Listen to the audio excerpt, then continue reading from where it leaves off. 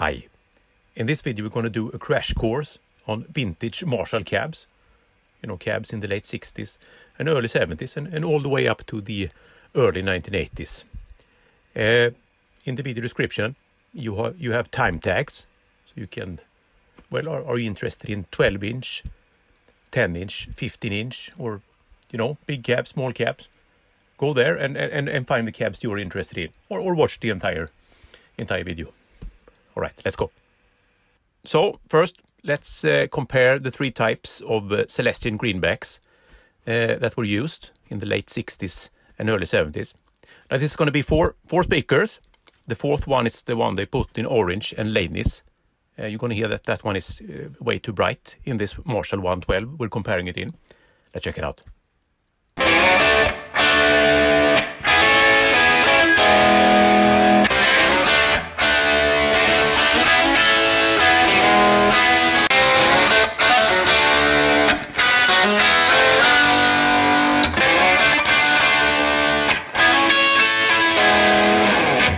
So you can have that as a reference when we check out the cabs. We're mostly going to use the uh, the G12M 2575 hertz and the G12H uh, 3055 hertz in in most uh, clips here. Now let's check out the three principal 4x12s Marshall had in the early 70s, late 60s, namely the 1960, 1935, and 1982. Let's check it out.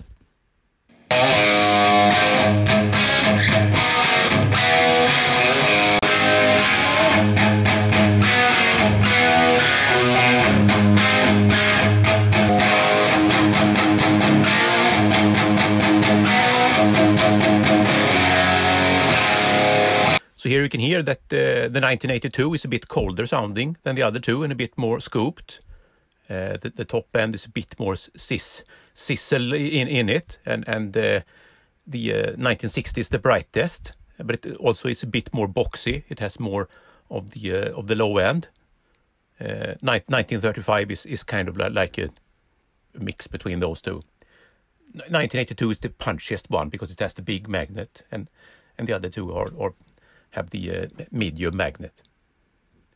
So so those were so those were slanted A cabs.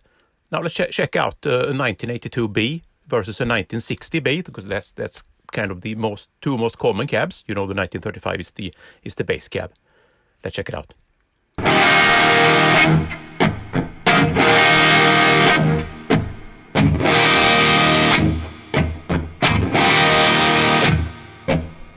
Here you can see that the uh, the 1960 with the G12Ms is is uh, you know warmer but less punchy. It is kind of kind of the uh, the top end is a bit lower than the uh, uh, the, the 1982 G12H, so it has a brighter top end and more bass. But but the G12M has more going on in the presence area and in, in the lower mids, so that's kind of the uh, quintessential Marshall tone. But but for hard rock later on, G12H and, and 1982 was was more popular. Now let's very briefly put them in the mix as well, so you can hear how, how they sound with drums and, and, and multiple guitars.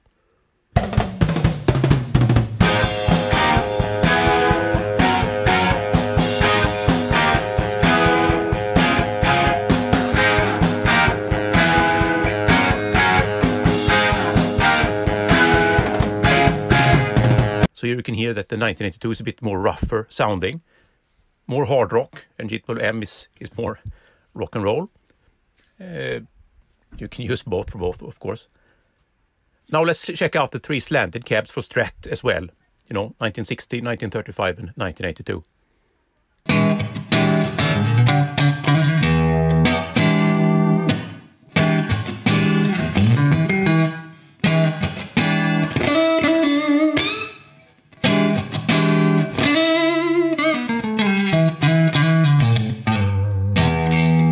Just love uh, Strat with the, the bass cabs, you know, 1935. Sound, sound, sounded the best to me with, with Strat here. So, so, so far, three, three, uh, four by 12s here. Sa same geometry, but, but uh, different speakers in them. Now, I bet you, you've seen the Henrik stack, that the bottom cab is a bit taller. So it's uh, 1960 tall or 1982 tall. We're going to check out the 1960 tall here. I'm gonna I'm gonna pl first play 1960 as a reference so we can check it out.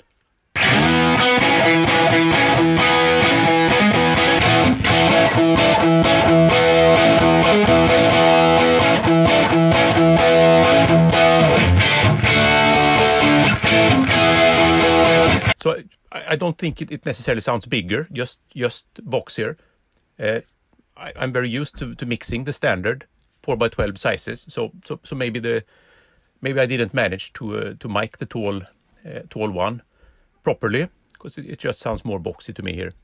Then Marshall had two 4x12s that were in the same format as as the 8x10s. Uh, maybe you've seen the 8x10. It, it's it's kind of a narrower but but higher cab.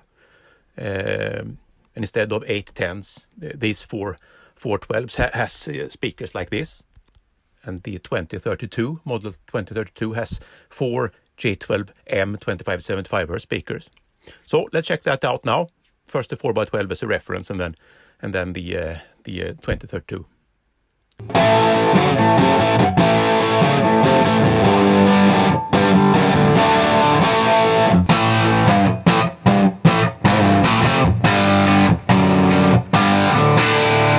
All right, that was the uh, 2032. They also had the 2033. It's uh, also 8 by 10 size, but th this one is as, as wide as the uh, as the big box, as the Super Lead instead. Uh, and this one has uh, G12H 3055 hertz greenbacks, and it's also positioned like this to fit them in the narrower, narrower but higher box. Let's check it out.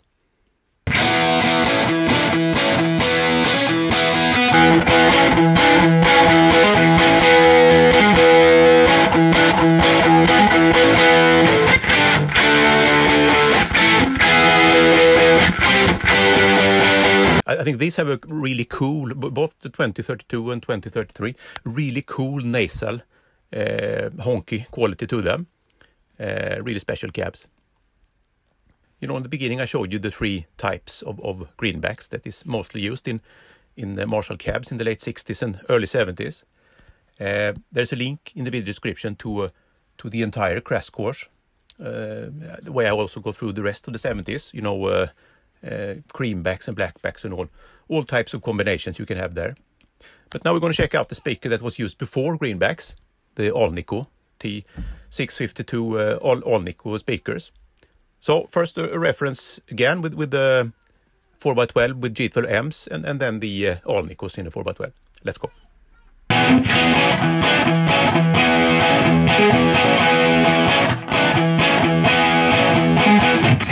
Then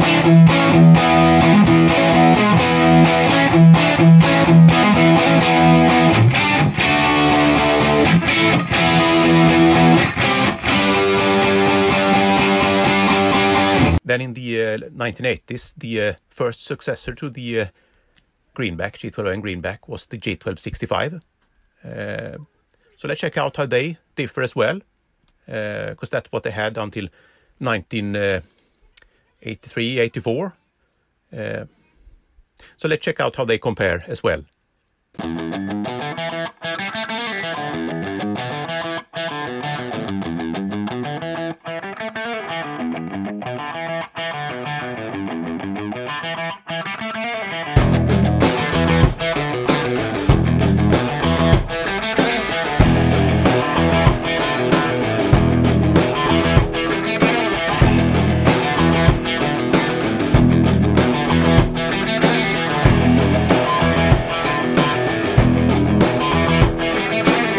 You can note that they, they, they sound pretty uh, pretty different showcased, but in the mix the, I, I, can hardly uh, tell them apart.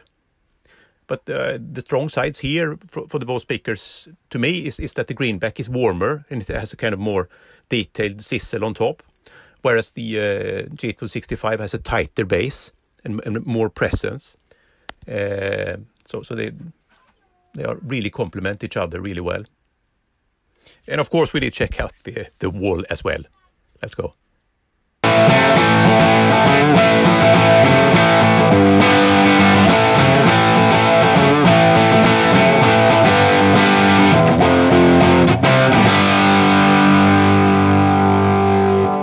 All right, Now let's move on to uh, 2x12 cabinets instead.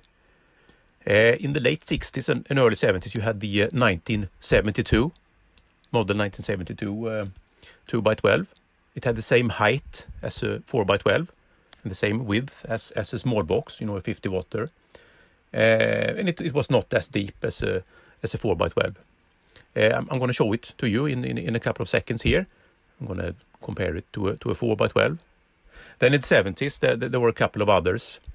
Uh, 2045, for instance, which must be the forerunner to the more famous 1936 that came in in, in the early 80s. And I think there was some some cab called 2042 as well. And there was some some of those were ported in in some way.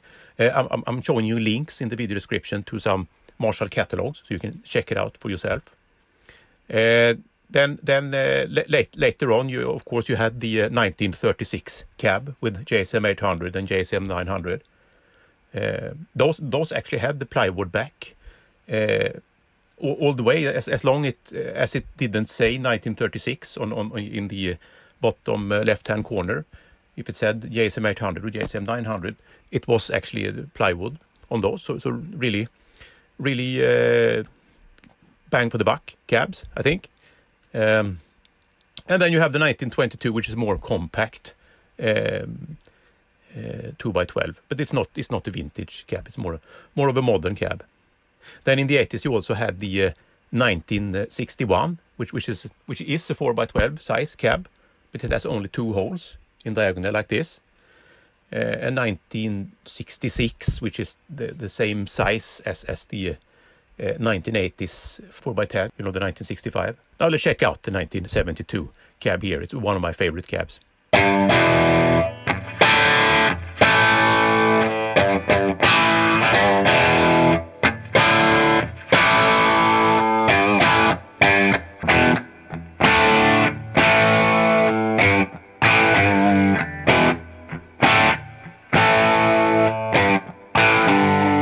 So you can hear that it's. Uh, I think I think it has lot, lot lots of the uh, four x twelve uh, qualities, but but it's a, it's much brighter than the four x twelve.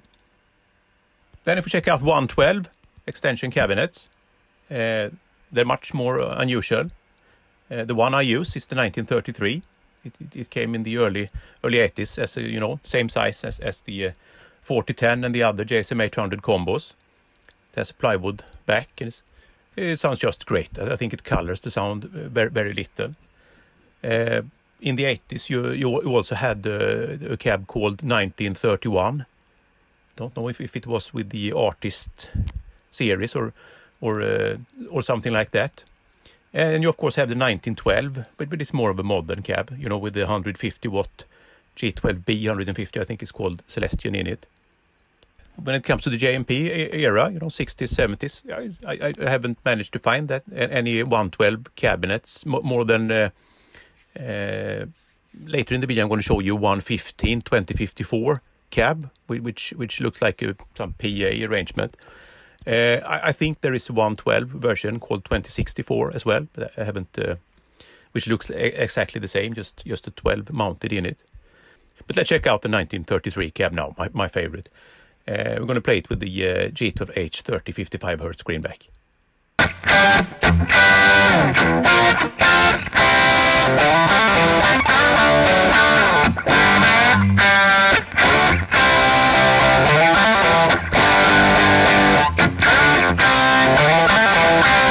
I really love the uh, sparkly, bright quality that this uh, greenback has uh, in in these cabs. Cuts like nothing else through a, through a mix. All right, now let's check out cabs with 10 inch speakers in them instead. The most famous one is probably the 1990, model 1990 8 by 10 cab. That's the one with the width of, of a small box. And the one with the width of a big box is the 2034. Uh, then you have a cab called 2038, which is actually a, looks exactly like a 4x12, but it has 10 inch uh, speakers in them. And the 10 inch speakers we're talking about here is, is the 7442 Celestions. And then, of course, you have the uh, 1965, model 1965 B and A cabs. And these are also in the 3005 lead 12 mini stack. But first, start off with uh, checking out the uh, 1965B here. Let's go.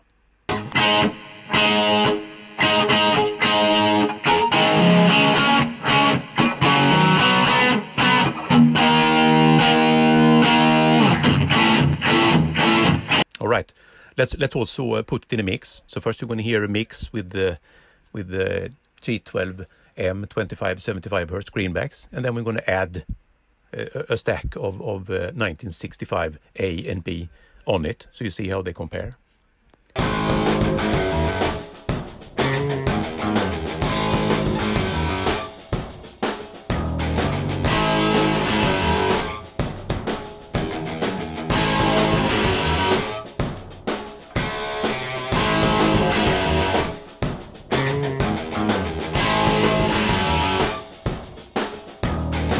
They fit very well together. And now let's check out the 1990, you know, the, the, the, the small box 810, which is probably the most classic of, of, uh, of these.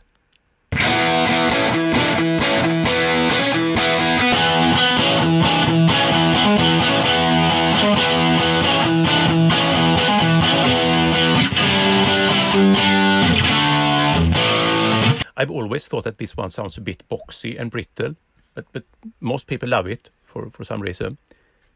And let's also check out the, uh, the, the, the, Lead 12 mini stack. This one has the 25 watt 10 inch speakers. The uh, 1965 cabs had the uh, 35 watters.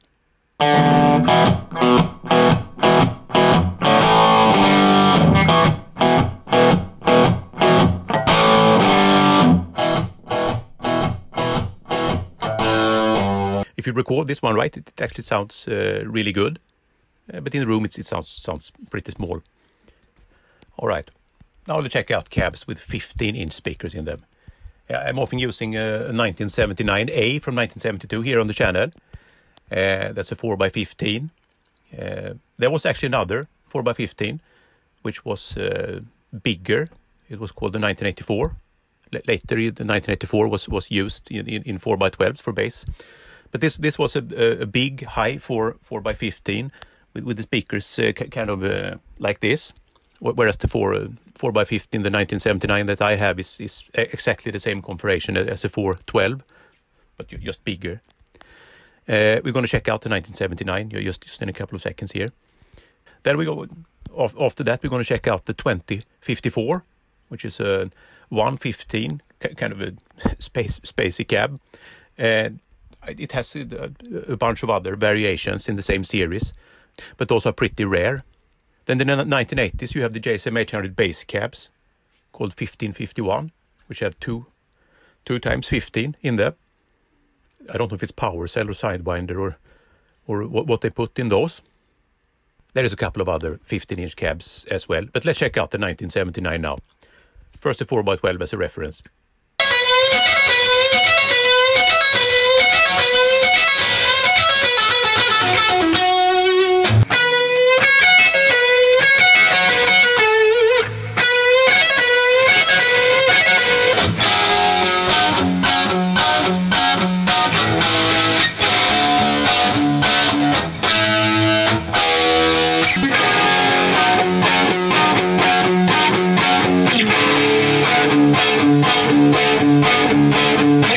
So the weird thing, I, I, I think, I think the uh, four x twelve sounds bigger.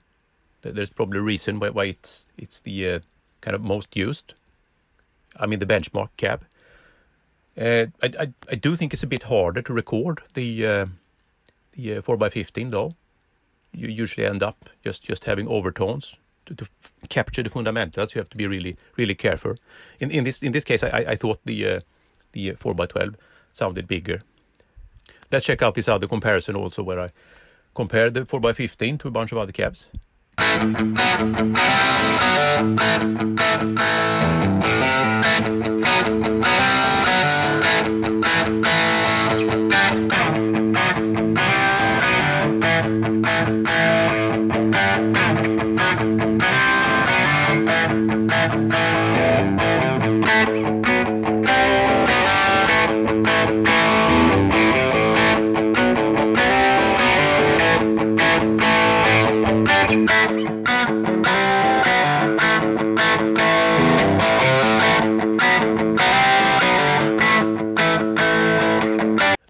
Thought I captured the uh, bigness of it a, a, lot better.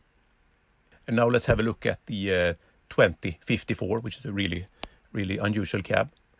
It's not the greenback in this one. It's a 15 inch D130F JBL in it. I think it came with 15 inch power cell Celestions actually.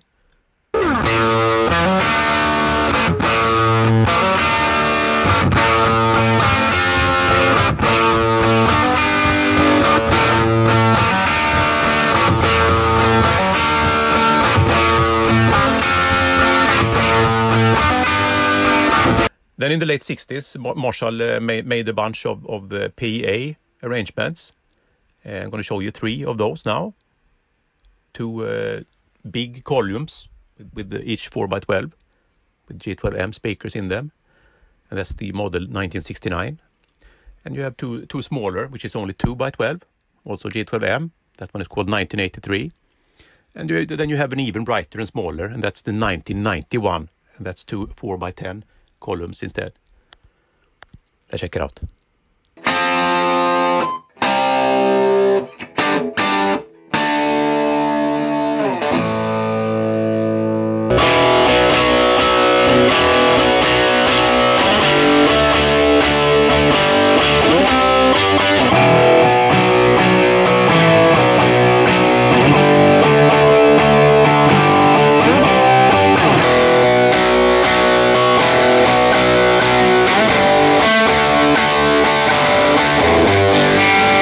Think these can sound cool as a complement to uh, to uh, 4x12s and, and, other speakers, but, but they sound a bit boxy, boxy to me. And finally, in, in, the late 60s, early 70s, Marshall also had an 18-inch bass cab called uh, 1988. Uh, let's check it out.